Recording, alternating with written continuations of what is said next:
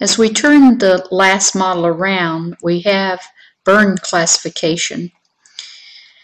This area is epidermis.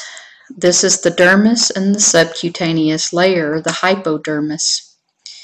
We look at a first degree burn, also called a partial thickness burn or superficial partial thickness burn.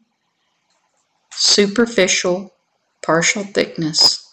It involves only the epidermis. It heals in a few days to two weeks. A sunburn can fall under this category. Superficial partial thickness. Usually leaves no damage. The second degree burn is also called the deep partial thickness because it goes down into the dermis. Because it pretty much destroys the epidermis and goes down into the dermis, there is some oozing of fluids and blisters form. This is from exposure to hot objects, liquids, flames, and burning clothing. New epidermis will form and it usually will completely recover unless there's an, an infection here. A severe sunburn can be a second degree burn. A deep partial thickness burn.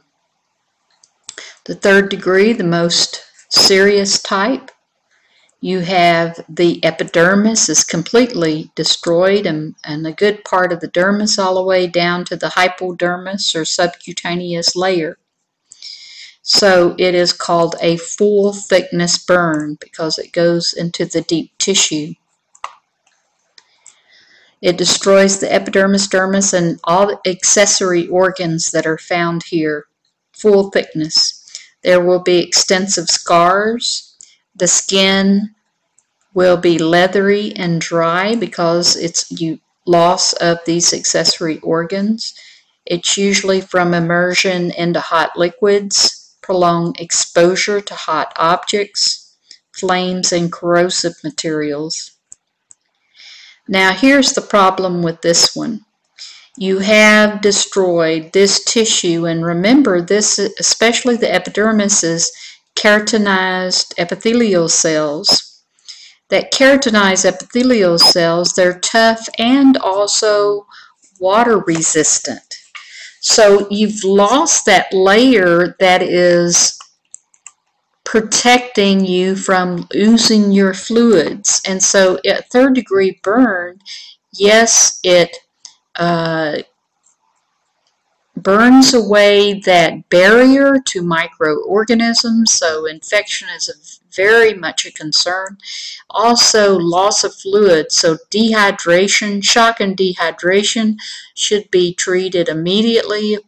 Somebody who um, has received third degree burns should have treatment for um, prevention of shock and water replacement, fluid replacement, because uh, this uh, there will be a lot of loss of fluids because um, there's nothing to hold it in anymore. There's nothing to stop those microorganisms, so it's it's very serious. Usually with uh, there's going to be extensive scars. An autograft, remember that is uh, tissue that is collected in a healthy area, healthy skin on the person's body who received the burn. A homograft from a cadaver who has um, donated um, is a donor, and then skin substitutes, and there will be extensive scars. The epidermis is destroyed, the dermis is destroyed, and the hypodermis or the subcutaneous layer is damaged.